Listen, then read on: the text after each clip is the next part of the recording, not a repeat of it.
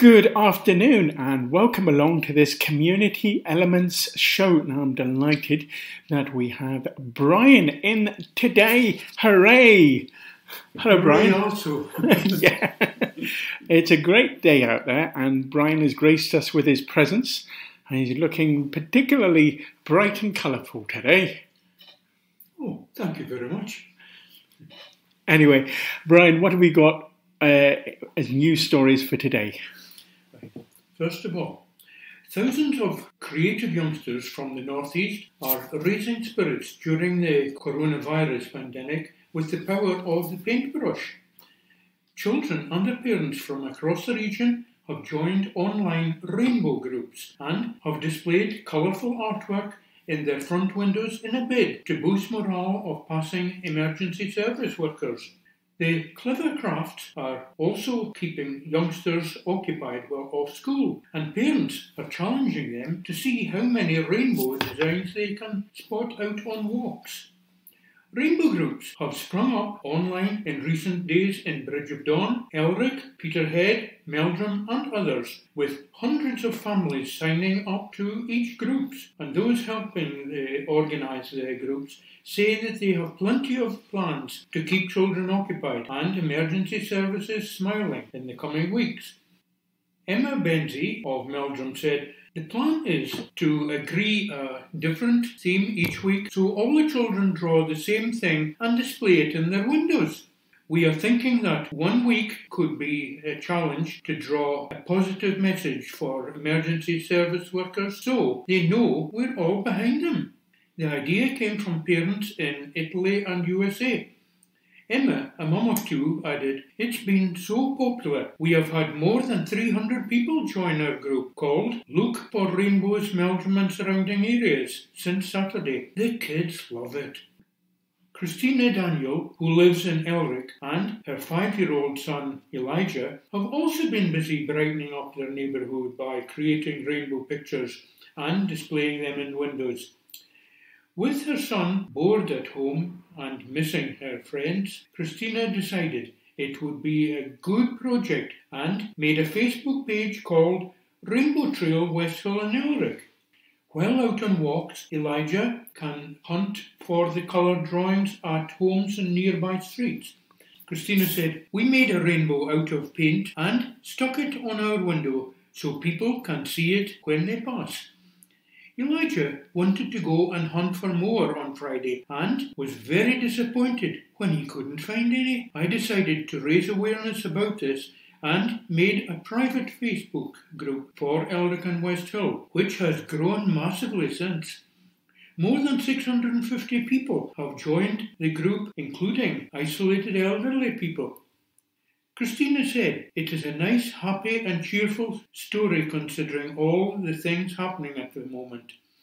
Westhill and District Councillor Iris Walker also got involved in her Rainbow Trail, putting one in her window.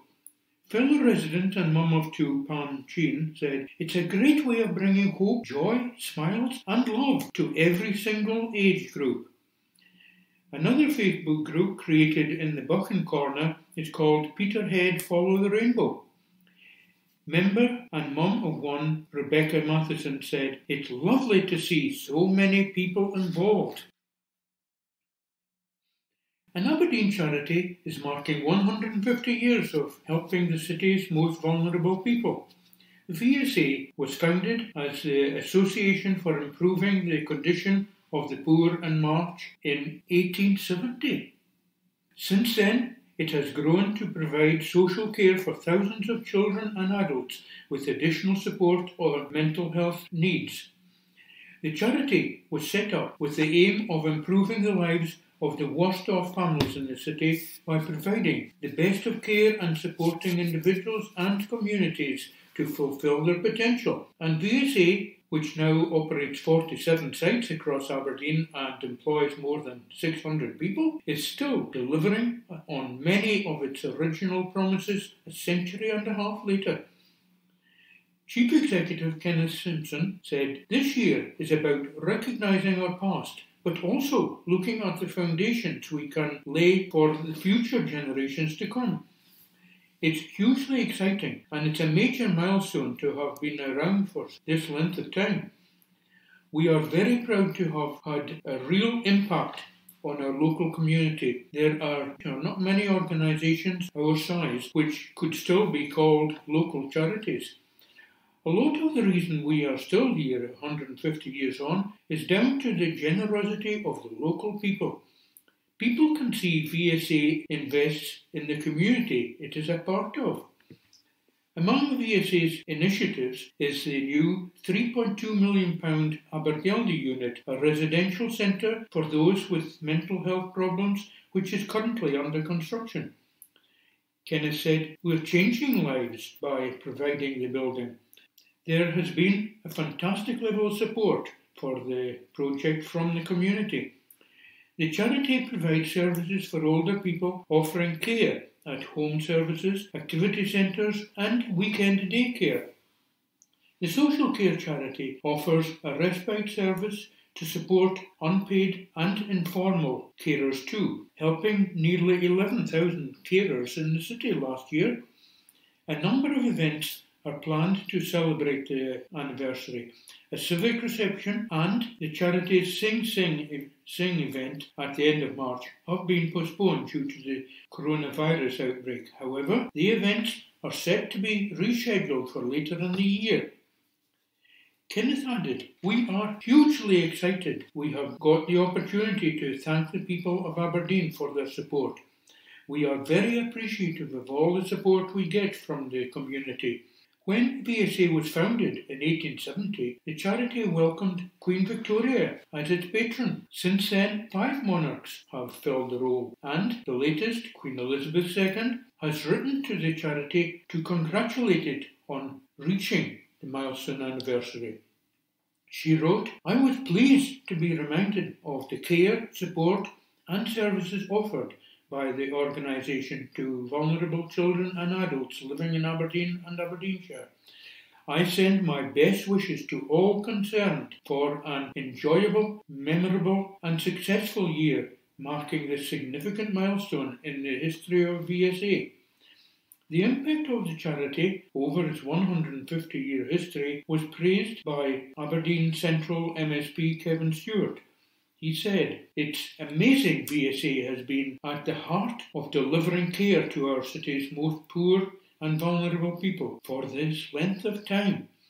I hope they are able to carry on their great work for many more years to come. We have a scripture text today taken from 2 Corinthians chapter 6 and verse 2, which says, Behold, now is the accepted time Behold, now is the day of salvation. I think that's a very important text in that uh, there are so many troubles at this time that we're going through, and people need to be prepared in case things go wrong, get themselves right with the Lord. Definitely. Crucial. Excellent, Brian. Thank you very much. It, that provides extra focus. And uh, I thought the story that really spoke out to me was the story about the VSA Voluntary Services Aberdeen. And I think that what they are doing, they continue to do, even more necessary now than ever for, ever before. Uh, they're, they're helping to coordinate people who would like to help in the community and putting them right where they are needed. And I know that the SA do a great job. Uh, they continue to do a great job, and they should be really thanked and, and uh, highlighted for that great work.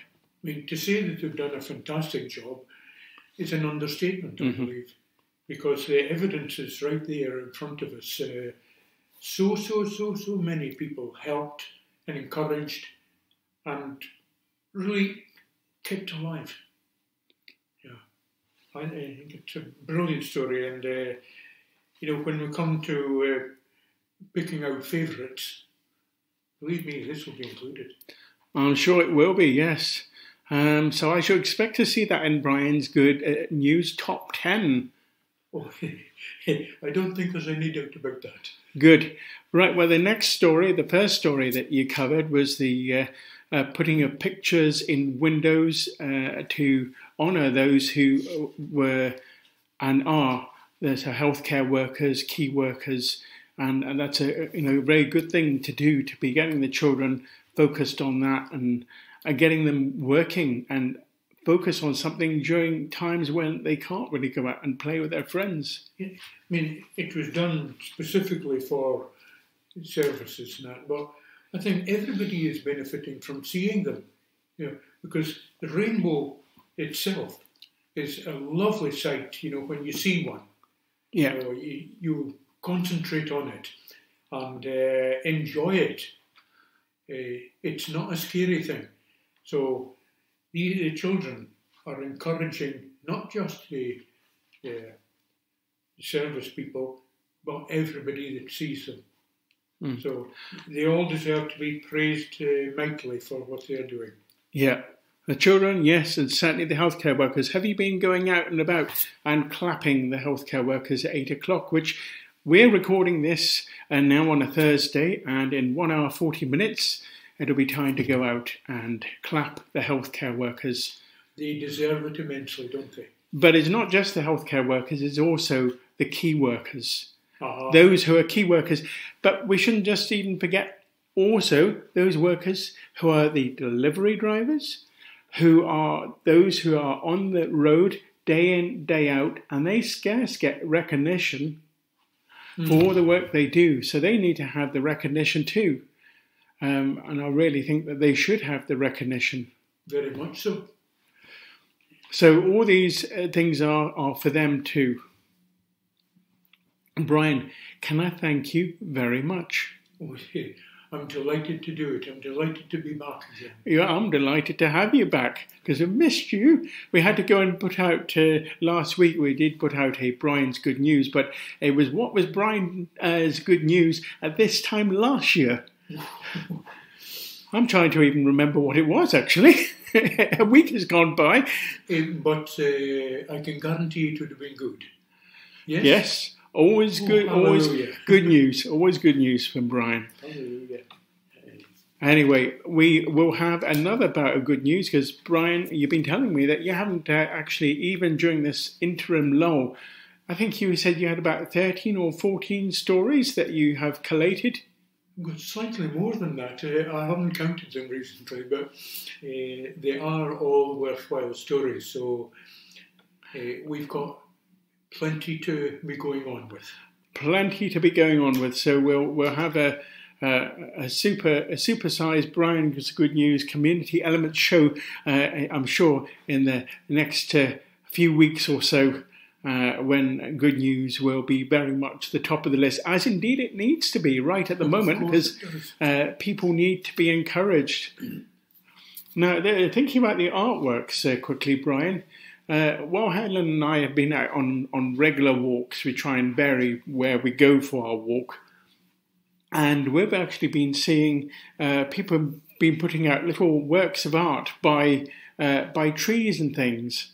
Uh, sometimes uh, you might see fairy doors and things like that appearing on trees. I'm not talking about them, but I'm talking about other little works of art that people have been actually placing in the countryside uh, as part of a as part of a, like a little trail that you can go round. And as you go round this trail, you can see these little works of art. Um, all of these are very uplifting, aren't they?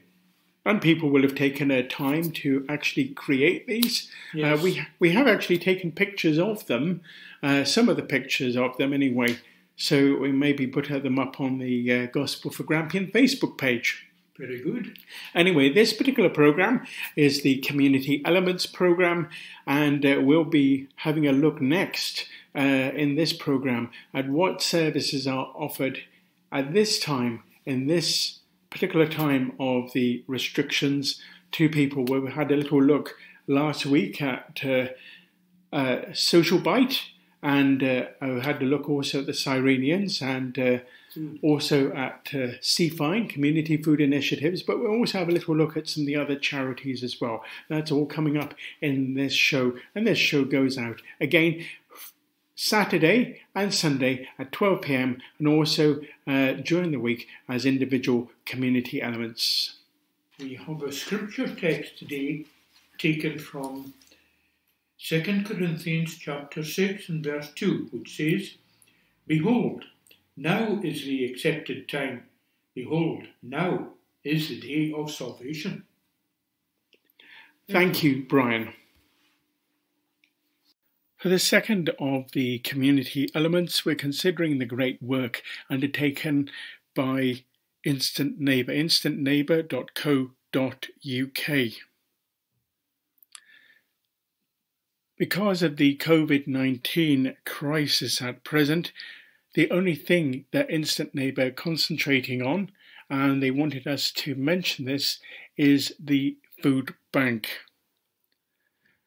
Now, let's first of all think of why people might come to a food bank. Well, late benefit payments, waiting for the first payment under new benefit claims, stopped benefit payments due to sanctions imposed, waiting for first wage from new employer, and increased heating costs during the winter months. These are just some of the reasons why clients might actually go to Instant Neighbour, and Instant Neighbour actually serve the north area of Aberdeen. Now, the food bank is situated in the St Machar Drive premises and is open Monday to Friday, 10 a.m. to 12 p.m. and 2 p.m. to 4 p.m. Now, they always have a great need of food and they're always grateful for people giving to the food bank. They usually need UHT or long life milk, tinned soup, tinned meat and fish, tinned vegetables, rice and pasta, jar sauces, cereals, tinned food, biscuits and snack bars, tea bags and instant coffee, sugar, diluting juice, dog and cat food, and basic toiletries. These are some of the things that they actually need. And I'll give you those uh, details again of the opening times of the food bank. The registered office is at 5 St Machar Drive, Aberdeen, AB 24 3YJ. And just to go over the times of the opening once again of the food bank, and you can actually pick up extra information on the instantneighbour.co.uk website, yes, but also the Facebook page as well, where I'm told uh, this is actually kept more up to date than the website due to the fact that they have skeleton staff. So thanks very much to Evan for giving me that information. Now, Food Bank, I believe, yes, is open from uh, 10 a.m. to 12 p.m. and 2 p.m. to 4 p.m. Monday to Friday. And as I say, they're always grateful for that little bit of extra help any food bank donations can also be dropped off at Peterculter Parish Church as well.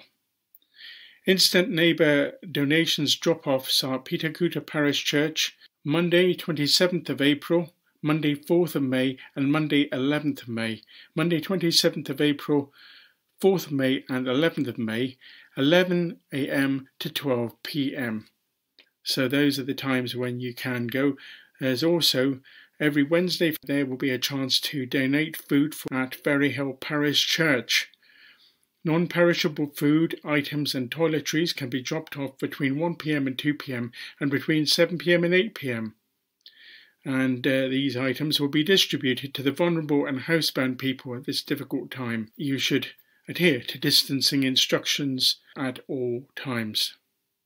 Instant Neighbour very grateful for PayPal donations, so uh, it's also uh, very grateful to Bureau Veritas Aberdeen for their generous donation. That's a bit of information for you about Instant Neighbour, which are based at 5 St Machar Drive, and that's where the food bank is open. Instant Neighbour are concentrating on their food bank rather than anything else at this time of the COVID 19 crisis. This is the Community Elements Show, and we're going to be finishing this part of the show with more good news, which has been sent in by Rachel McKay. Thanks, Rachel. Two NHS workers who had their wedding cancelled due to coronavirus were left delighted after family and friends made an incredible wedding party TikTok video. Pharmacist Claire Higgins, 40, and GP Stuart Mayers, 47, were blown away by the effort made by their wedding guests from across the world. The couple, who have been together for four years, were due to get married at the iconic venue Gretna Green at the weekend.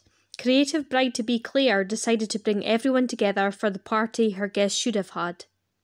Thanks for all your hard work, Claire and Stuart. Your wedding will be a belter when all this is over. A Scots costume designer swaps tutus for scrubs in support of NHS staff. A costume designer swapped tutus for scrubs to help create vital supplies for NHS workers. Hazel Blue, who has designed for countless theatre productions including the Scottish Ballet, has joined for the Love of Scrubs Scotland, aiming to make batches of scrubs for NHS staff. The project, founded by Mirka and Maja Jankowska of Mirka Bridal Couture in Kirkcaldy and Holly Baxter Weir of Fabric Bazaar, started after news of health workers lacking in personal protective equipment. These stories are from the Daily Record. And thanks very much to uh, Rachel McKay for that. She'll be back again next week with plenty more good news stories. And most certainly, we'll have Brian back again next week with Brian's good news. And I'll be back next week with uh, another look at another organisation, VSA, and how organisations around the north east of Scotland are coping with COVID 19. Just to quickly let you know what else is happening on this station this weekend and today. At 6 o'clock tonight, you'll be able to hear a gospel of hope. And at 7 pm, we're going to be praying in our power hour for the needs of the country, for the NHS, for the key workers, and praying around the world as nations are working together to make the best of this COVID 19 outbreak. You can hear this program again between uh, 12 pm and 1 pm Saturday and Sunday, and as individual community elements during the week. But I'm saying bye bye for now.